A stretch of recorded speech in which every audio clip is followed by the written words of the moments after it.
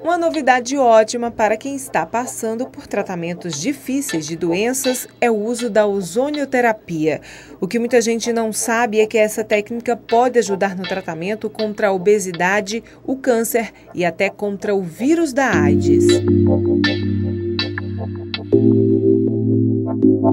O ozônio entra sob pressão na célula cancerígena e acaba com o fenômeno da fermentação, porque a célula cancerosa não sobrevive com oxigênio. Como toda parte da medicina, a gente tem que empregar precocemente, logo no início da doença. Depois, na fase terminal, já não é mais possível. Com aplicações simples no combate à obesidade, a ozonioterapia age na doença e também na parte estética.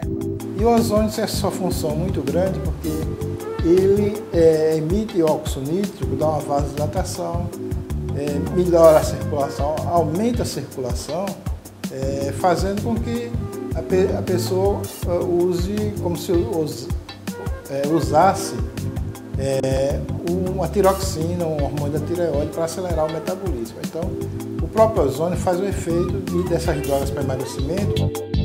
O efeito local, ele é usado como lipolítico. Ele atua diretamente na célula, um efeito igual à carboxiterapia.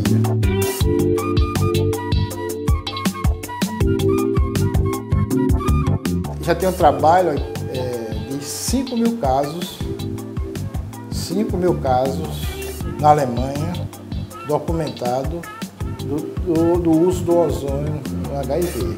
Né? Desses 55 mil casos, é, me parece que menos de 10 óbitos. O ozônio ele atua é, no, no vírus HIV e todos os vírus, penetrando através da película da membrana que envolve o vírus. Essa película é muito fina, então o ozônio penetra, destrói a, a, a, o HIV, né, o vírus, e depois desse vírus destruído e fragmentado, começa a circular na corrente sanguínea e o organismo entende aquilo como um corpo estranho e fabrica vacinas para remédios, vacinas para aquele vírus. Uma técnica simples e eficiente que pode ser uma grande aliada da saúde.